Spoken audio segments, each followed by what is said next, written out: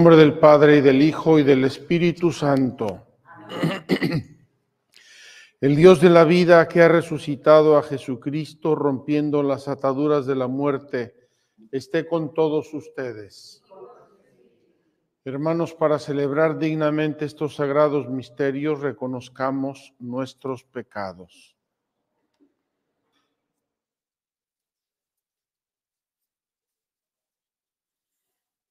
Tú, el primogénito de entre los muertos, Señor, ten piedad. Tú, el vencedor del pecado y de la muerte, Cristo, ten piedad. Tú, la resurrección y la vida, Señor, ten piedad. Dios Todopoderoso tenga misericordia de nosotros, perdone nuestros pecados y nos lleve a la vida eterna. Gloria a Dios en el cielo, en la tierra paz a los hombres que ama el Señor.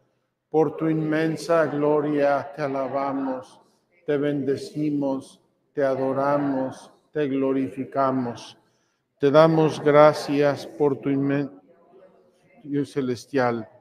Dios Padre Todopoderoso, Señor Hijo único Jesucristo, Señor Dios, Cordero de Dios, Hijo del Padre, tú que quitas el pecado del mundo, ten piedad de nosotros. Tú que quitas el pecado del mundo, atiende a nuestra súplica. Tú que estás sentado a la derecha del Padre, ten piedad de nosotros, porque solo tú eres santo, solo tú, Señor, Solo tú, Altísimo Jesucristo, con el Espíritu Santo, en la gloria de Dios Padre. Amén. Oremos. Dios nuestro, que cada año nos inundas de alegría por la solemnidad de la resurrección del Señor, concédenos propicio que por estas fiestas que celebramos en el tiempo, merezcamos llegar al gozo de la eternidad. Por nuestro Señor Jesucristo, tu Hijo, que es Dios, y contigo vive y reina en la unidad del Espíritu Santo por todos los siglos de los siglos.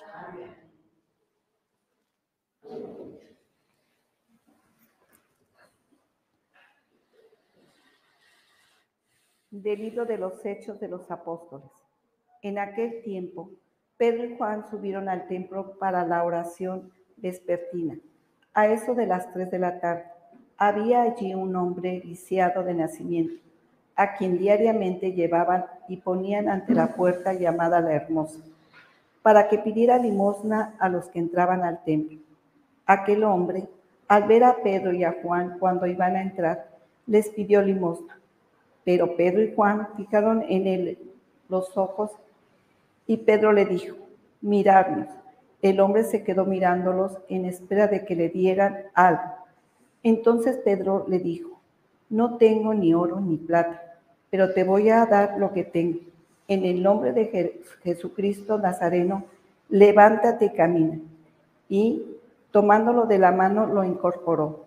Al instante sus pies y sus tobillos adquirieron firmeza.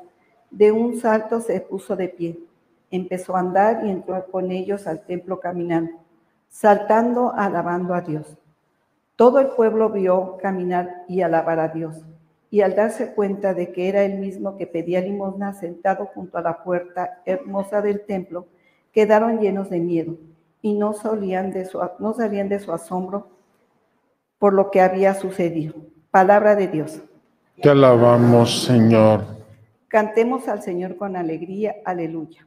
Cantemos al Señor con alegría, aleluya. Aclamen al Señor y denle gracias, relaten sus prodigios a los pueblos. Entonces en su honor, himnos y cantos, celebremos sus portentos. Cantemos, al, Señor con alegría, aleluya. Del nombre del Señor, enorgullezcanse y sientan felicidad. El que busca, recurran al Señor y su poder y a su presencia acuda. Cantemos, Cantemos al Señor con alegría. Aleluya. descendientes de Abraham, su servidor, estirpe de Jacob, su predilecto. Escuchen, el Señor es nuestro Dios y gobierna la tierra sus decretos. Cantemos, Cantemos al Señor con alegría. Aleluya. Ni aunque transcurran mil generaciones, se olvidará el Señor de sus promesas, de la alianza pactada con Abraham, de- del juramento a Isaac que un día le hicieron. Cantemos al Señor con alegría. Aleluya. Aleluya, aleluya. Ese es el día del triunfo del Señor, día de júbilo y de gozo. Aleluya. Aleluya. Aleluya. Lo reconocieron al partir, a partir el pan del Santo Evangelio según. Perdón, Padre.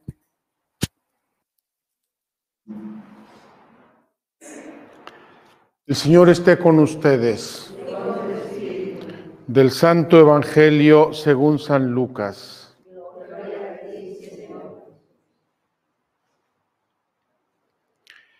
El mismo día de la resurrección iban dos de los discípulos hacia un pueblo llamado Emaús, situado a unos 11 kilómetros de Jerusalén, y comentaban todo lo que había sucedido. Mientras conversaban y discutían, Jesús se le acercó y comenzó a caminar con ellos, pero los ojos de los discípulos estaban velados y no lo reconocieron. Él les preguntó, ¿de qué cosas vienen hablando tan llenos de tristeza? Uno de ellos, llamado Cleofás, le respondió, ¿Eres tú el único forastero que no sabe lo que ha sucedido estos días en Jerusalén?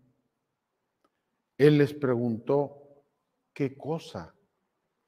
Ellos le respondieron, lo de Jesús el Nazareno, que era un profeta poderoso en obras y palabras ante Dios y ante todo el pueblo. Cómo los sumos sacerdotes y nuestros jefes lo entregaron para que lo condenaran a muerte y lo crucificaron. Nosotros esperábamos que Él sería el libertador de Israel y sin embargo han pasado ya tres días desde que estas cosas sucedieron. Es cierto que algunas mujeres de nuestro grupo nos han desconcertado, pues fueron de madrugada al sepulcro, no encontraron el cuerpo y llegaron contando que se les había aparecido unos ángeles que les dijeron que estaba vivo. Algunos de nuestros compañeros fueron al sepulcro y hallaron todo lo que habían dicho las mujeres, pero a él no lo vieron. Entonces Jesús les dijo, qué insensatos son ustedes y qué duros de corazón para creer todo lo anunciado por los profetas. ¿Acaso no era necesario que el Mesías padeciera todo esto y así entrara en su gloria? Y comenzando por Moisés y siguiendo con todos los profetas, les explicó todos los pasajes de la escritura que se referían a él. Y acerca del pueblo a donde se dirigían, él hizo como que iba más lejos, pero ellos le insistieron diciendo, quédate con nosotros porque ya es tarde y pronto va a oscurecer. Y entró para quedarse con ellos.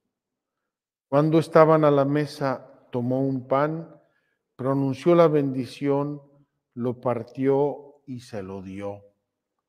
Entonces se les abrieron los ojos y lo reconocieron, pero él se les desapareció. Y ellos se decían el uno al otro, con razón nuestro corazón ardía mientras nos hablaba por el camino y nos explicaba las escrituras. Se levantaron inmediatamente y regresaron a Jerusalén, donde encontraron reunidos a los once con sus compañeros, los cuales les dijeron, de veras ha resucitado el Señor y se le ha aparecido a Simón. Entonces ellos contaron lo que les había pasado en el camino y cómo lo habían reconocido al partir el pan. Palabra del Señor.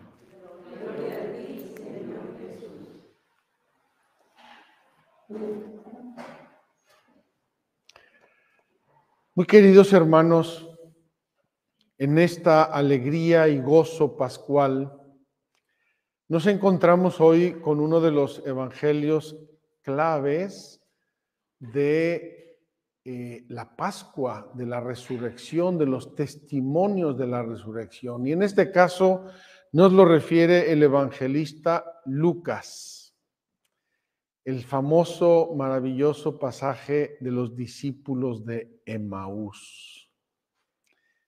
Este pasaje tiene varios paralelos también de Lucas. Tiene un paralelo en ese encuentro que tiene el apóstol Felipe con un eunuco, ministro de la reina Candache o Candace, que va de regreso de Jerusalén a su tierra. Es un poco el mismo esquema, la misma composición un primer encuentro que no se entiende bien por dónde va. Luego una catequesis bíblica y a través de esa catequesis bíblica eh, la llegada a la fe, la llegada a creer. En este caso, a creer en que eh, en identificar y reconocer a Cristo vivo y resucitado el tercer día de la semana. ¿Cuánto podemos aprender de este pasaje? Es bellísimo, ya lo hicimos en alguna de nuestras peregrinaciones anteriores, el camino de Maús, que a mí me fascinó, lo disfruté muchísimo y eh, que ojalá, si tienen tiempo, pudieran volver a ver esto hoy, porque es el Evangelio de hoy el camino de Emaús, los discípulos de Emaús. Y yo quiero detenerme hoy en tres elementos. Quiero imitar al Padre Salvador. Tres puntos. El primer punto es que estos apóstoles, estos discípulos, salen de Jerusalén y se van, se están yendo, están en su éxodo. Éxodo es camino de salida. Ellos dejan Jerusalén, donde todo mundo sabe lo que pasó, están horrorizados de lo que pasó, lo entregaron nuestros jefes, esperábamos, pero ya no esperamos, un desastre, se van, están de salida, están en su propio éxodo. Y en ese éxodo aparece el Señor. En este caso aparece él personalmente, aunque no lo reconocen porque está resucitado, tiene su cuerpo glorioso. En otros muchos casos aparece el Señor de otros modos, en otras figuras, a través de otras personas, como es el caso de la primera lectura de hoy. Está ese pobre paralítico que todo mundo conoce e identifica pidiendo limosna y se aparece el Señor en la persona de Pedro y Juan. Y dice Jesús a los discípulos de Emaús, qué necios y qué insensatos ustedes para creer. Todo lo anunciado por los profetas. Vean las escrituras, ahí está clarísimo. Y comienza Jesús a darles una catequesis que nos duele con todo el alma. Si hubiera sido hoy, lo hubieran grabado en TikTok y nos lo hubieran dejado, o en Instagram. Pero en ese tiempo no tenían ni TikTok ni Instagram, la grabaron en sus corazones. ¿Y qué les explica Jesús? Comenzando por Moisés, y siguiendo con todos los profetas, les explicó todos los pasajes de la escritura que se referían a él. Qué maravilla.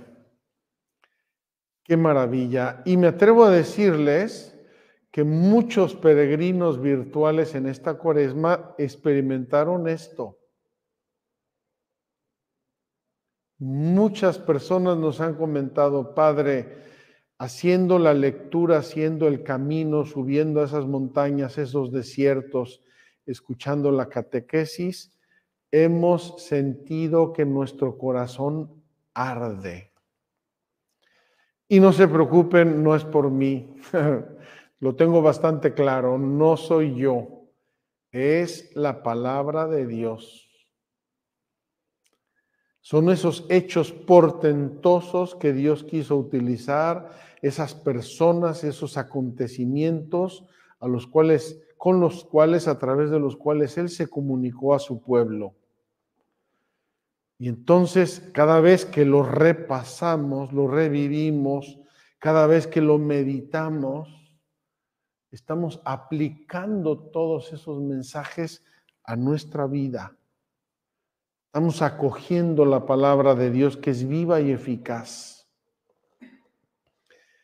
Me llama la atención que el Evangelio repite una, un una adverbio y es importantísimo, comenzando por Moisés y siguiendo con todos los profetas, todos, les explicó todos los pasajes de la escritura que se referían a él. Yo me permito poner un poco en duda ese todos, todos, todos, porque hicieron siete kilómetros no hicieron 40 años en el desierto, hicieron 7 kilómetros. Pero puedo imaginar la capacidad de Jesucristo de exponer de un modo claro, conciso, llano, transparente, lo que dice la Sagrada Escritura sobre él. Imagínense lo que debió ser esa catequesis. Qué maravilla, solamente los que saben acercarse a Cristo con un corazón humilde, los que ejercitan la adoración a Cristo en la Eucaristía, saben lo que significa que Jesús nos explique cosas. Yo lo entendí en un momento de oración. Yo estaba leyendo el Evangelio y entendí. Y cuando Jesús nos explica cosas, aunque sean pocas, sencillas, Entendemos todo. Entendemos todo. ¿Por qué? Porque la palabra de Jesús y las gracias que el Espíritu Santo nos da a través de sus palabras son como esa menorá. Se encendía esa menorá dentro del tabernáculo y como el tabernáculo era dorado, se iluminaba y resplandecía todo. Cuando Jesús nos dice algunas palabras o nos explica algunas verdades, Él conoce nuestra alma y Él sabe que con poquita luz se ilumina todo. Quiero pasar a la primera lectura porque me resulta fascinante. Y les voy a contar una anécdota, es una banalidad, no tiene casi nada que ver, pero me ilumina para explicar el tema. Cuando yo entré en el noviciado, a los pocos días nos hicieron un cuestionario eh, de habilidades y de cosas, qué lenguas hablas, qué cosas sabes hacer, tienes licencia de conducir, no tienes licencia de conducir, etc. Y claro, todo el mundo quiere parecer muy bien y muy sabiondo. Y entonces yo puse ahí que sabía coser en máquina. ¿Por qué? porque yo veía a mi madre coser en la máquina y en alguna ocasión cosí algo, alguna descosida, pero la arreglé. Yo sé, yo sé coser a máquina, yo, yo sí sé. Al día siguiente aparecieron los cargos del noviciado. Sastre, hermano Juan Solana. Ah, caramba, eso me sonó tan importante. Sí, apenas había yo cosido dos descosidas de algún pantalón, pero me salí como sastre. Obviamente fue una catástrofe, la máquina del noviciado no era como la de mi mamá, era de pedales y con esos pedales rompí 25 agujas. Eh, no tenía yo ni idea, no sabía insertar el hilo, no sabía nada más que cuando mi mamá me dejaba y cosía yo una descosida. Pues nada, sastre. Pero comenzando, superadas las primeras impresiones y después que rompí 25 agujas, pues ya le cogí al pedal y empecé a coser y eventualmente llegué a ser el sastre de la comunidad. ¿Por qué? Porque yo se lo había visto a mi madre hacer toda mi vida. Mi madre se pasaba la vida surciendo calcetines y cosiendo camisas y pantalones descosidos. Imagínense nada más con 13 hijos. Como yo la veía y la veía y la veía y la veía, pues digamos que me hice una idea de cómo iba el tema. No bajo más detalles porque me pasaron dos o tres catástrofes bastante simpáticas. Pero a lo que vengo. Me impresiona que este Pedro llegue a la puerta hermosa del templo, vea a un paralítico que le pide limosna y le salta en la cabeza repetir lo que él había visto hacer a Jesús muchas veces. Si no lo hubiera visto, probablemente nunca se le hubiera ocurrido. Hubiera metido la mano en la bolsa, dos denarios, un denario o tres, lo que sea, y se lo hubiera dado a ese pobre y se hubiera ido tan feliz y el pobre se hubiera quedado igualmente feliz. Pero Jesús, eh, Pedro y Juan vieron a Jesús resucitar muertos, sanar paralíticos, sanar cojos, lisiados, ciegos, sordomudos, expulsar demonios, multiplicar los panes y los peces. Lo vieron, lo vieron, lo vieron, lo vieron. Y entonces cuando se encuentran a este pobre lisiado, tiene Pedro el valor y la fe, subrayo la fe, para pensar que él también tenía la capacidad de darle la salud a este hombre. Les voy a ser muy sincero, muchas veces he tenido tentaciones de hacer algo así. Cuando uno ve una necesidad, ve una persona sufriendo, quisiera decir, oye, Dios mío, dame la capacidad de sanarlo, de ayudarlo, de hacer algo. Y no tengo esa fe, no la tengo, tengo que admitirlo, no la tengo. Si la tuviera, lo haría. ¿Por qué? Porque Jesús lo dijo claramente a, sus discípulos. ¿No habéis visto todas las cosas que yo he hecho? Ahí está la obra de mi Padre, en las cosas que yo hago, y vosotros podéis hacerlas aún mayores y se las pedís a mi Padre, porque mi Padre quiere mostrar su poder a través de vosotros. Lo dijo Jesús, lo dijo clarísimo. Entonces, fíjense qué hermoso, una persona conocida en la puerta del templo donde todo el mundo pasa, fue un testimonio de la acción de Dios y de la acción de Cristo inmenso pero ahora de un modo nuevo. No es Jesús el que lo está haciendo porque Jesús ya se fue al cielo y está sentado a la derecha del Padre. Es Jesús en su iglesia, en su iglesia, a través de su iglesia. Y aquí está Pedro, cabeza de la iglesia, pastor de la iglesia, con el poder de Cristo. Qué hermosa expresión. No tengo ni oro ni plata. En el nombre de Jesucristo, levántate. Lo coge de la mano y pega un salto y se pone a caminar y a saltar.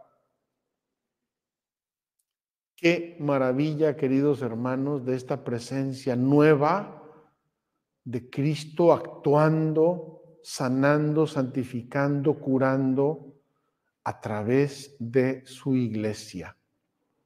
Tenemos que pedir unos por otros para que tengamos esa fe. Que tengamos esa fe de poder creer que el poder de Dios lo puede todo si tenemos fe y si se lo pedimos a Dios. Vamos a pedírselo porque Él quiere que en este momento de la historia haya testimonios de fe, haya pruebas de nuestra fe, ayudas para nuestra fe. Así sea.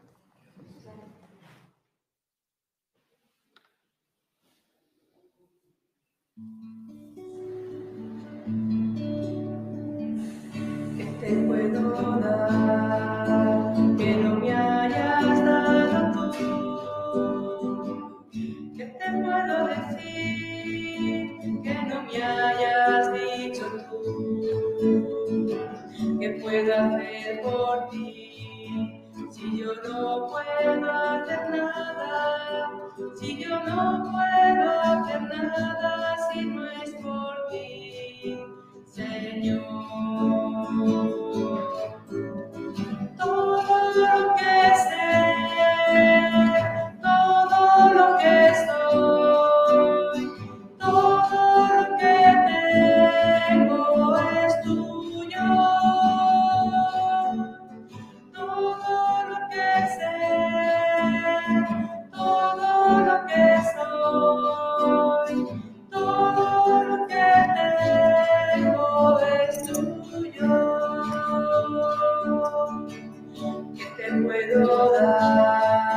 Que no me hayas dado tú? ¿Qué te puedo decir que no me hayas dicho tú? ¿Qué puedo hacer por ti si yo no puedo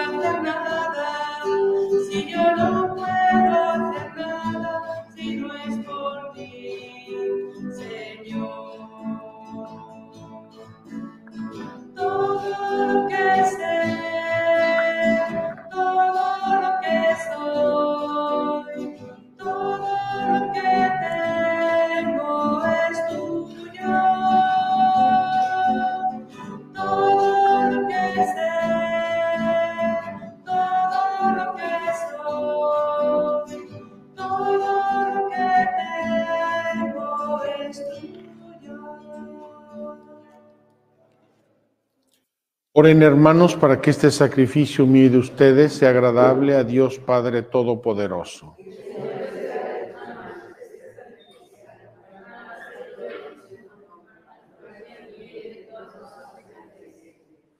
Recibe, Señor, estas ofrendas de la humanidad redimida y realiza a favor nuestro la plena salvación del cuerpo y el alma.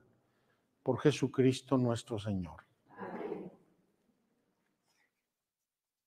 El Señor esté con ustedes. Levantemos el corazón. Demos gracias al Señor nuestro Dios. En verdad es justo y necesario es nuestro deber y salvación glorificarte siempre, Señor, pero más que nunca en este tiempo en que Cristo nuestra Pascua fue inmolado, porque Él es el verdadero Cordero que quitó el pecado del mundo. Muriendo destruyó nuestra muerte y resucitando restauró la vida. Por eso, con esta fusión del gozo pascual, el mundo entero se desborda de alegría y también los coros celestiales, los ángeles y los arcángeles cantan sin cesar el himno de tu gloria. Santo, santo, santo es el Señor Dios del universo. Llenos están el cielo y la tierra de tu gloria. Hosana en el cielo. Bendito el que viene en nombre del Señor. Hosana en el cielo. Santo eres en verdad, Señor, fuente de toda santidad. Por eso te pedimos que santifiques estos dones con la efusión de tu Espíritu, de manera que se conviertan para nosotros en el cuerpo y la sangre de Jesucristo nuestro Señor, el cual, cuando iba a ser entregado a su pasión voluntariamente aceptada, tomó pan.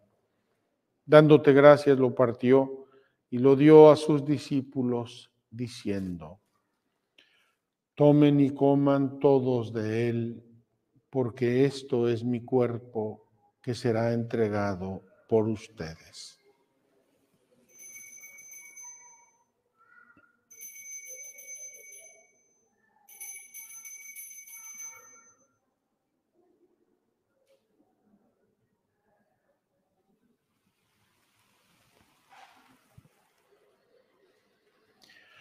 Señor mío y Dios mío.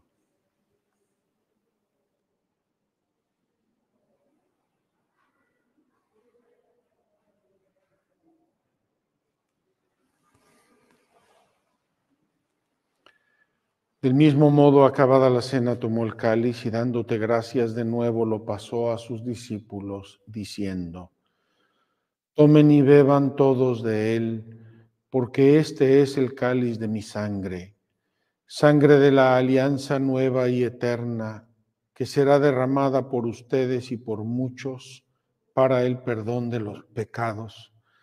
Hagan esto en conmemoración mía.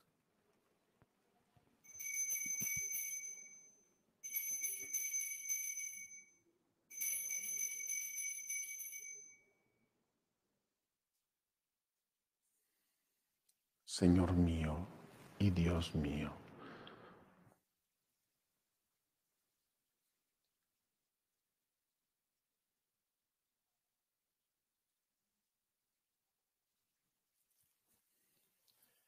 Este es el misterio de la fe.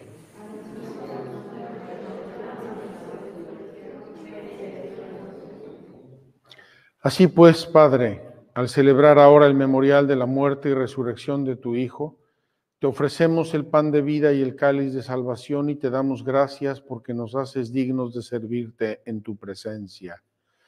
Te pedimos humildemente que el Espíritu Santo congregue en la unidad a cuantos participamos del cuerpo y la sangre de Cristo.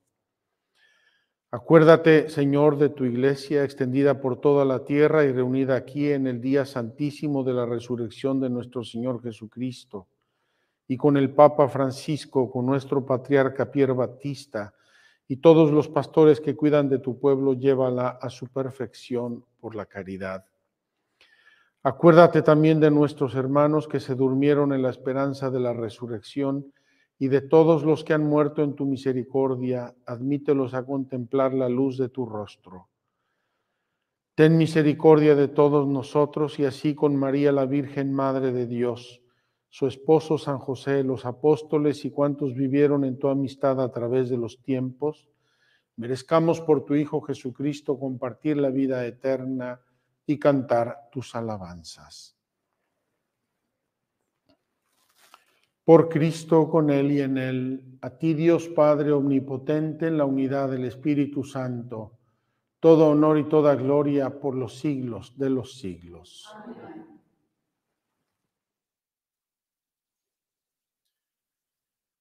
Fieles a la recomendación del Salvador y siguiendo su divina enseñanza, nos atrevemos a decir, Padre nuestro que estás en el cielo, santificado sea tu nombre, venga a nosotros tu reino, hágase tu voluntad en la tierra como en el cielo.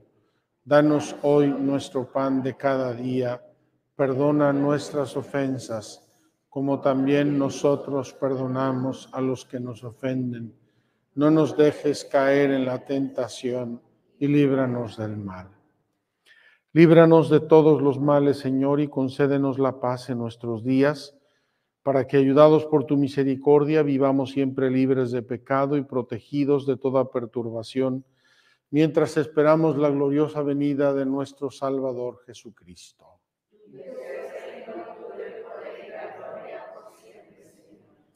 Señor Jesucristo, que dijiste a tus apóstoles, la paz les dejo, mi paz les doy, no tengas en cuenta nuestros pecados, sino la fe de tu iglesia, y conforme a tu palabra concédele la paz y la unidad, tú que vives y reinas por los siglos de los siglos. La paz del Señor esté siempre con ustedes. En el Espíritu de Cristo resucitado, dense fraternalmente la paz.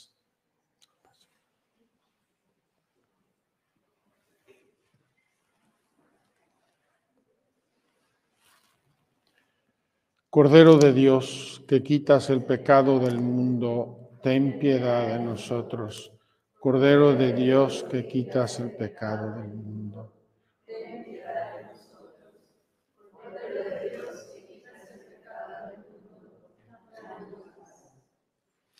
Señor Jesucristo, Hijo de Dios vivo, que por voluntad del Padre y cooperando el Espíritu Santo diste con tu muerte la vida al mundo.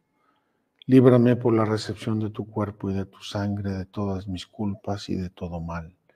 Concédeme cumplir siempre tus mandamientos y jamás permitas que me separe de ti.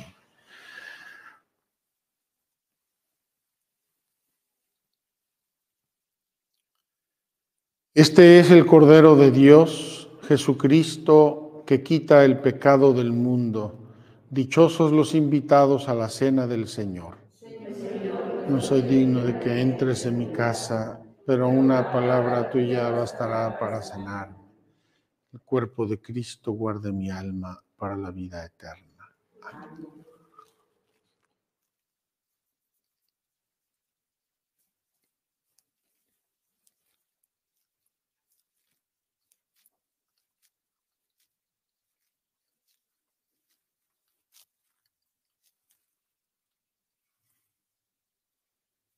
La sangre de Cristo guarde mi alma para la vida eterna. Amén.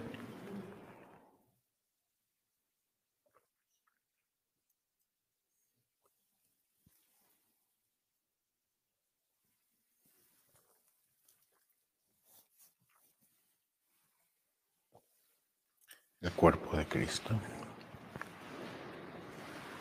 El cuerpo de Cristo.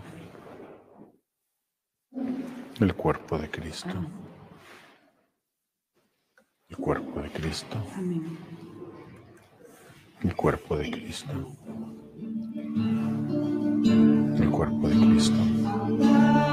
Por el camino, te tropezamos, Señor. Te hiciste encontradizo, nos diste conversación. Tenían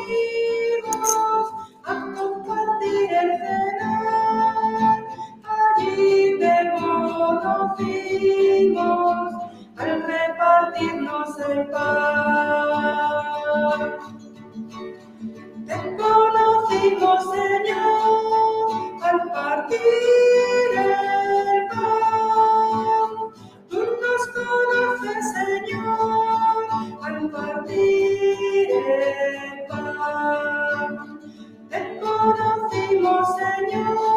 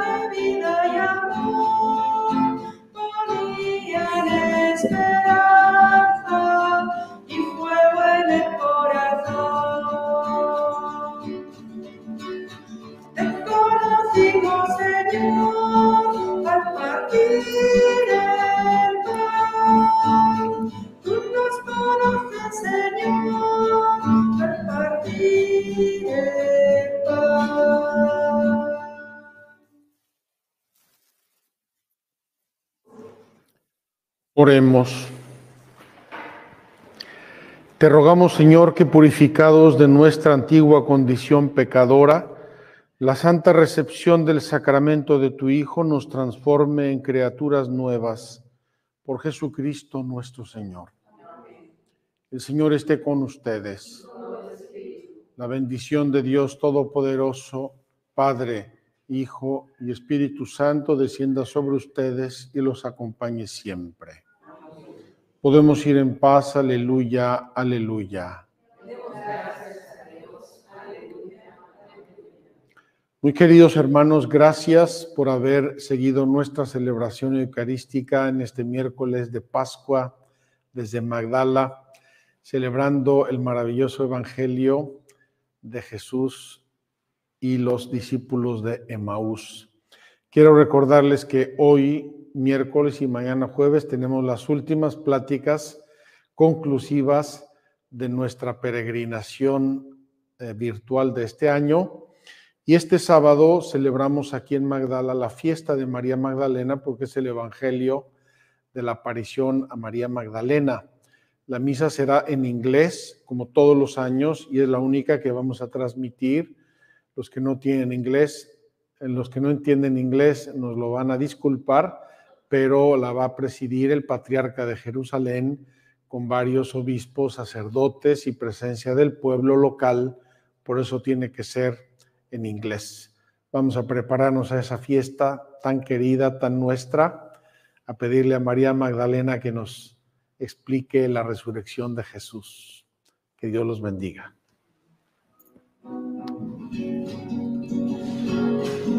Libérame en mi viaje, en mi camino, abre el mar. Que mi pan por el desierto sea el